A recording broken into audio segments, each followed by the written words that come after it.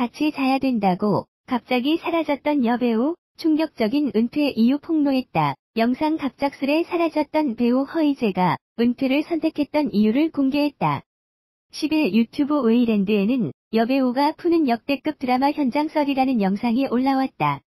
공개된 영상에는 지난 2016년 이후 작품 활동을 중단했던 배우 허이제가 오랜만에 등장해 상대 배우들에게 갑질을 당했다고 밝히며 방송에 나와도 되나 싶은 정도도 있다.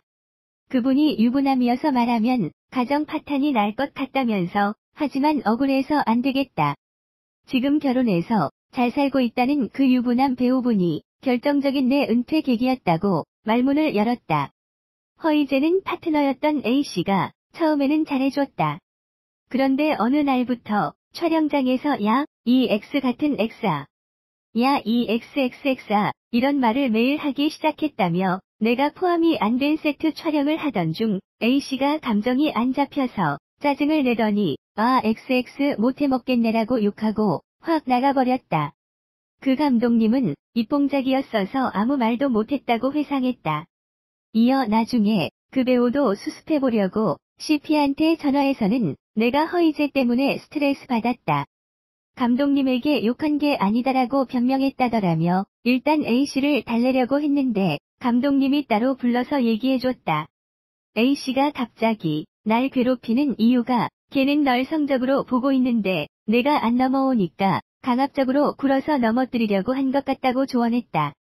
그런데 난 끝까지 안 믿었다고 주장했다. 허이제는 A씨 대기실로 들어가자마자 부드러운 목소리로 이제야 사람들이 우리 드라마 보고 뭐라 하는지 알아? 너랑 나랑 연인 사이 같지가 않대라고 하더라. 그래서 더 노력하겠다고 했다. 그런데 갑자기 남녀 사이에 연인 같아지려면 어떻게 해야 하는지 알아? 같이 자야 돼. 근데 너는 그러기 싫지? 라고 했다며 싫다고 하니까 그러니까 이 X 같은 X가 잘하라고. 너 때문에 연기에 집중을 못하잖아. 이 XXX가 이러면서 또 욕을 하더라고 폭로했다. 그는 그때 정말 멘탈이 나갔다.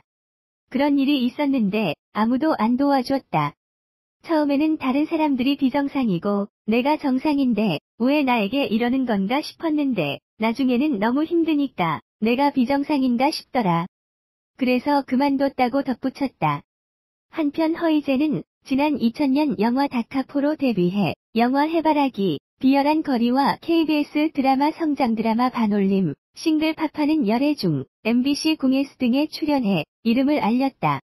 하지만 2016년 SBS 드라마 당신은 선물 이후 작품 활동을 중단했다.